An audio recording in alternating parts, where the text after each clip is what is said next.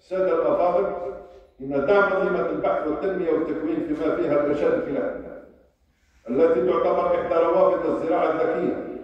أصبح الآن حتمية بالنظر إلى الحاجيات الجديدة التي يتطلبها المنتجون والمزارعين ومختلف المتعاملين الاقتصاديين في ظل الظروف المعاصرة التي نعيشها والتي تتسم في العولمة عولمة الاقتصاد وروح التنافسية.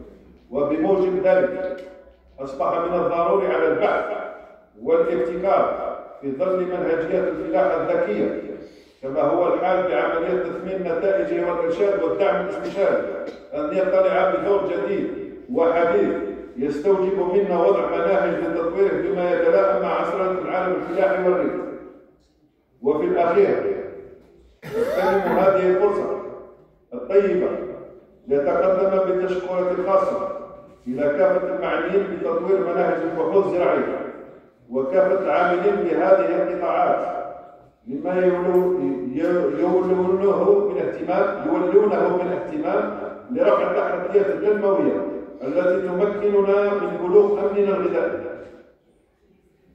متمنيا للجميع بالتوفيق والنجاح في المهام الموكولة إليهم من أجل تحقيق الأمن الغذائي والتنمية المستدامة الخاصة بالزراعة والتنمية الريفية وتلك المتعلقة بالغابات والصيد البحري والتي هدفنا هي هدفنا الاسمى الذي نسعى إليه جميعا.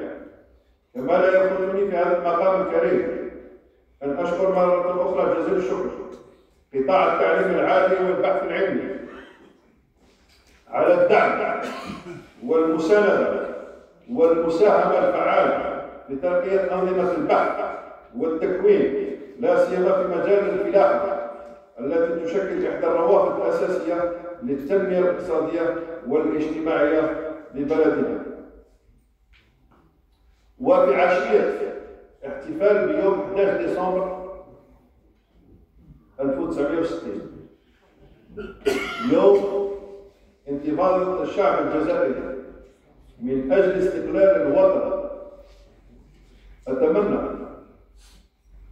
أتمنى أن يكون يوم 12 ديسمبر 2019 هبة وطنية ومحطة أخرى في تاريخ أمجاد الشعب الجزائري وعزة الوطن.